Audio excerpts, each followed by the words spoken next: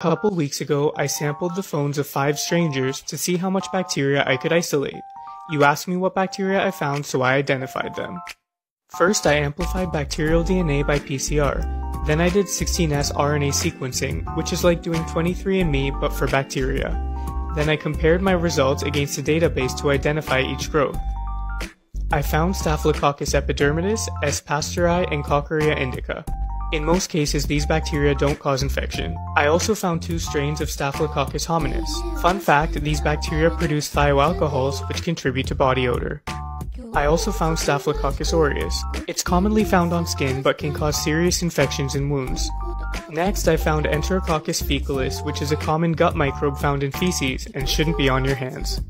Lastly, I found Bacillus cereus. It can also be found in our gut, but on our skin it can cause chronic skin infections. Phones harbor bacteria, so remember to